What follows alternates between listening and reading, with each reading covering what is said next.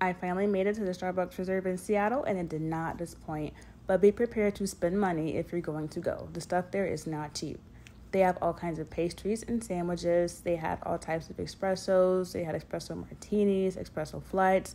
I ended up getting an espresso with um, vanilla ice cream in the middle, and my husband got a whiskey barrel coffee, and it was absolutely amazing. Definitely recommend going, but next stop was the Amazon Spheres. Go to part two if you want to see that.